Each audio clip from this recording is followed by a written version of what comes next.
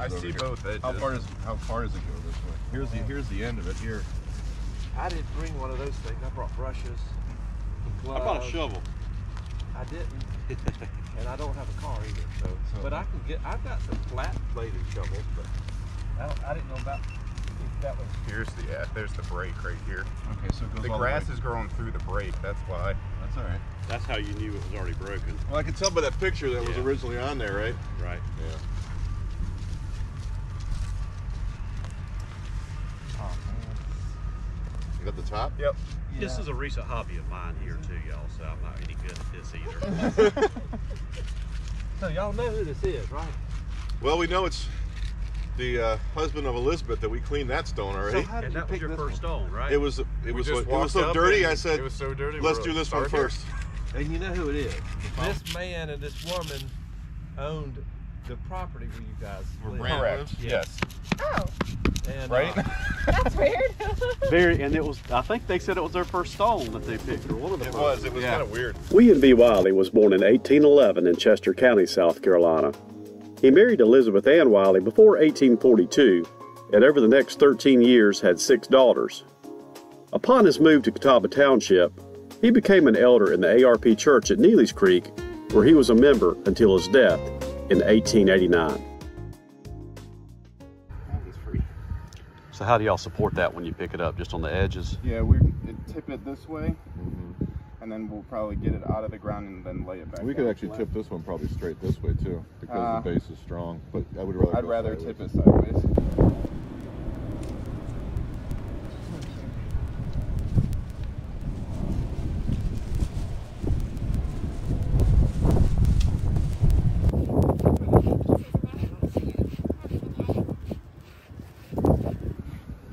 There's a cemetery down at um, Landsford Canal. Have y'all been to that one? Uh, I haven't been to the cemetery, but I've been to Landsford. If you're going to Landsford Canal, after you get off of 21, on the left is the cemetery. It's not very well kept. Um, it's called it's called Old Stone Cemetery, Okay. and it's got more Wylies in it. that's the oldest Wylie that we can Yeah. find. There's right there, right? Yep. That probably was the same. Do you think that's broken somewhat down there? Uh, that's it, it's possible. Yeah. Looks like it's at least chipped, right? Well, and it, I mean, it There was looks like with this stone they had to It's it's, rebond that it's in the fell at bottom, some point too, hadn't it? See what we're dealing with. How bad it is. So I wonder why they face the west, the east. Uh, it's biblical. The new day or something. Uh, Jesus will uh, come into the east uh, from on the sunrise from the east. So every grave sets towards the east. just want to be careful with it. Need help?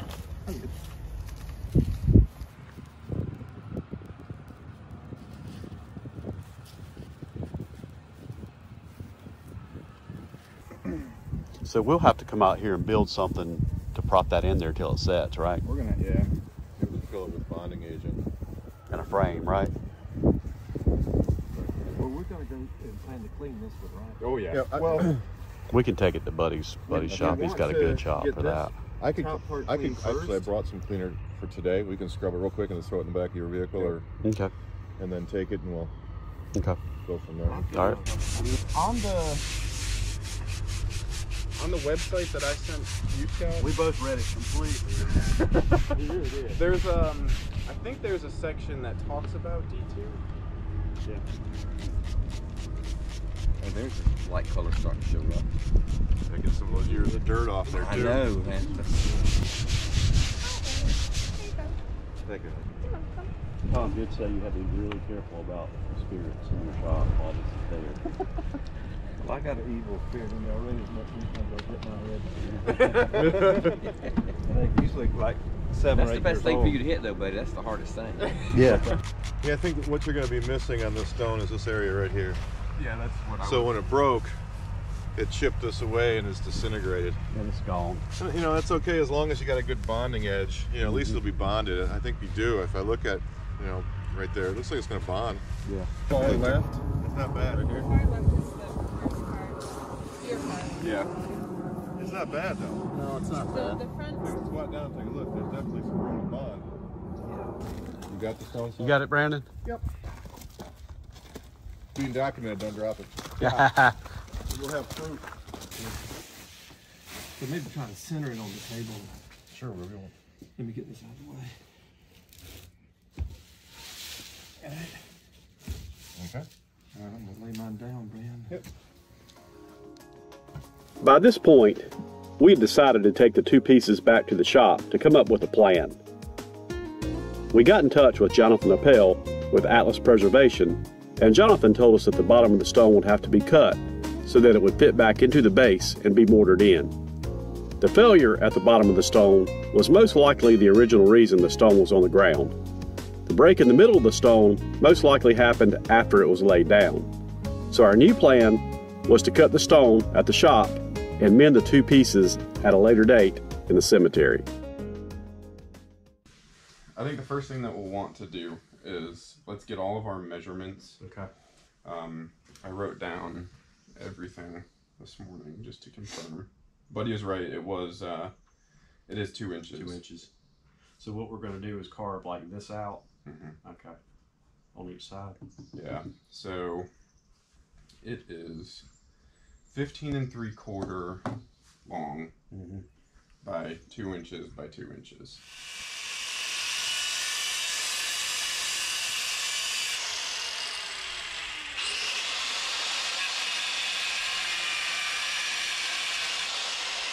That's real fun. Do we want to measure? Yeah.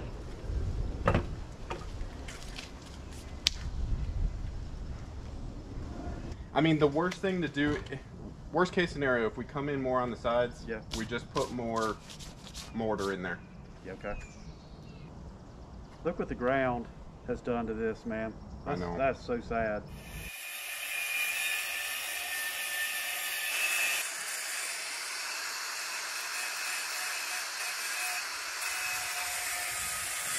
The pictures show the damage at the bottom of the stone, as well as our pencil marks as to where we plan to cut the corners out so that it could be dropped back into the base.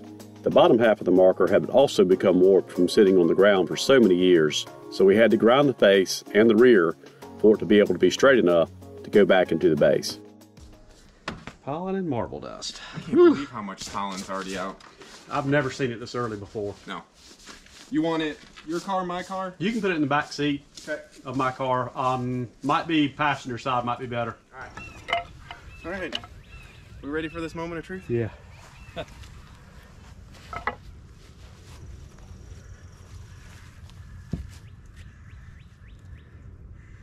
We're close. Real close. Very perfect.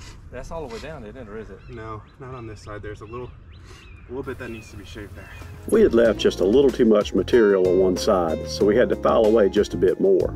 Using a small file, we were able to remove the material and make the stone fit in perfectly. It was at this point that we had to figure out how to deal with the warping and the bowing of this bottom piece. That's pretty level, right? Yeah. How's that, that other side? Well, we don't know if it's, that other side, that might, that side might be warped. Yeah. We're level on the right side. Yeah. That side might just be warped. I would say they didn't cut it square to begin with. Yeah, that could be too. All right. Taper off, right? Yes.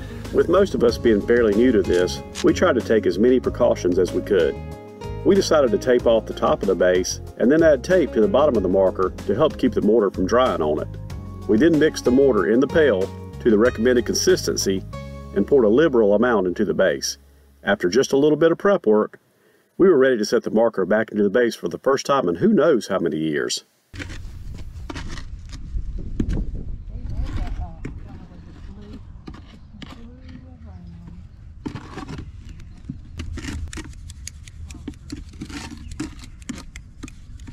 You might, that might be clean, because we're gonna, we're gonna displace all that, aren't we? Yep. Shimmy, shimmy. Oh, yeah. Perfect.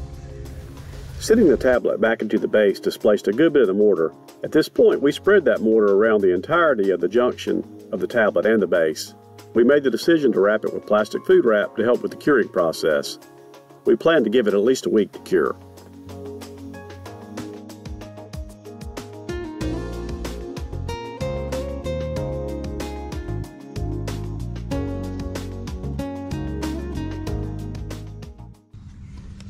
Thought in your lifetime, buddy, you'd be doing something like this?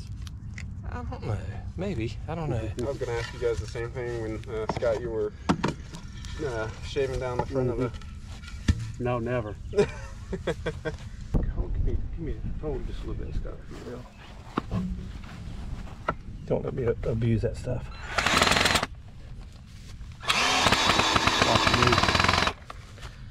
That's probably good. Yeah. That.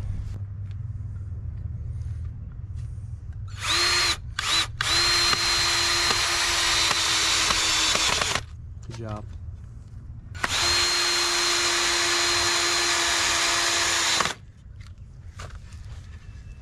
Alrighty.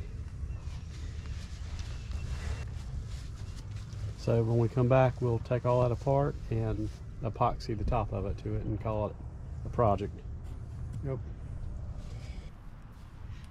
Okay. All right. So I bet we didn't bring the drill. No, but I mean, we We can just need it. take these off.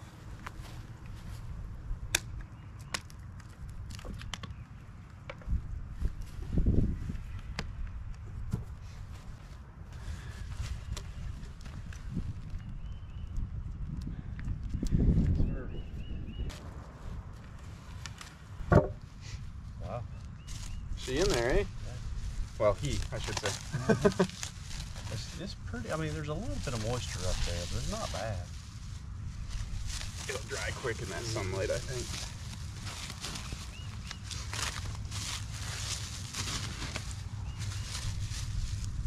I feel good about it. You got here if you decided you wanted to.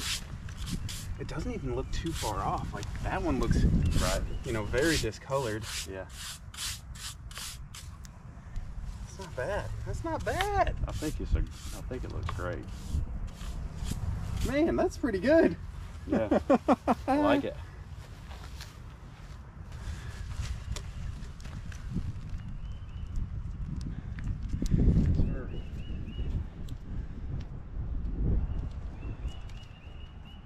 Got a good loss up here. I think the back's better except for that one place. Yeah, I'm worried about the couple places that we can actually see through it too. All right, that's good. Got it. Let's um. Clean that. Yep. I'll clean it if you want to start mixing. epoxy. I'm gonna put them on these two spoons. Okay. Put that one on that spoon. I'm gonna mix them in here. Mhm. We're gonna, I'm gonna take the spoon and I'm gonna spoon it along the edge. Mhm. We'll set the top on. Mhm. we'll make sure it's good. We will use clamps and the board to get it to stay. And then we'll work on filling the areas that are exposed. So two of these.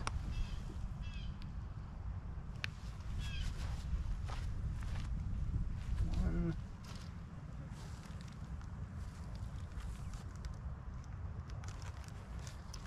Two.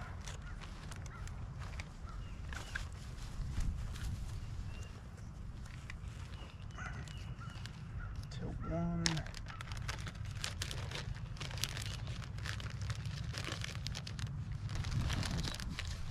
That would be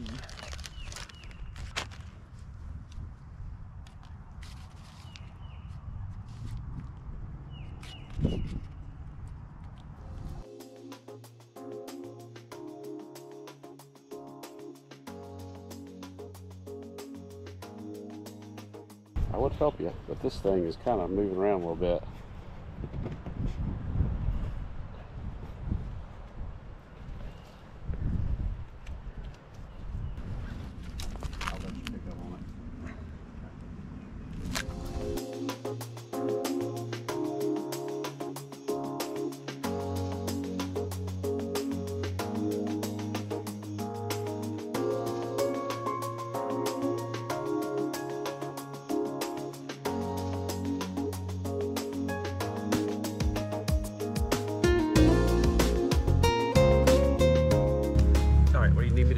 be in there, just one.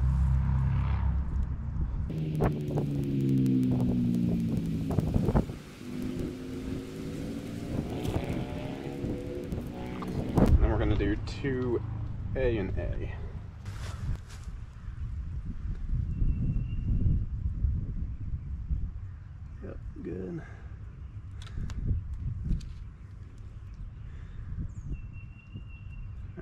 I'll make you a man with the marble. Perfect. Okay. Here we mix the two parts of the epoxy together along with the crushed white marble until the point of rejection. Alright, let's see if I have the necessary skill. I think you do.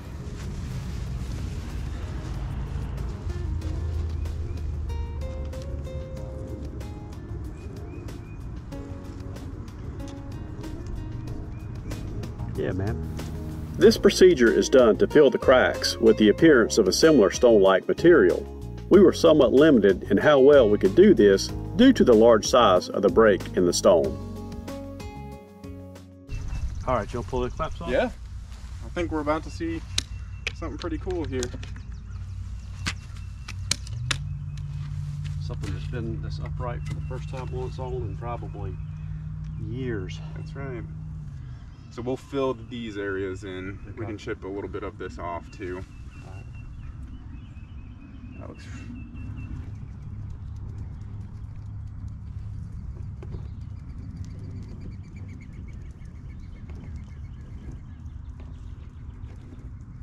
So at this point, we just need to come back and just saturate this with D2 and let it sit. Is that is that how it's going to work? Yeah, we're gonna well, we're gonna scrub on it too. Okay. We're gonna saturate it with D2, let it sit on there for about 10 to 15 minutes, Yeah. and then we're going to uh, scrub and spray more D2 on there. Thank you to everyone who's had a hand in this project. If you've enjoyed this content, let me know in the comments. Thanks for watching.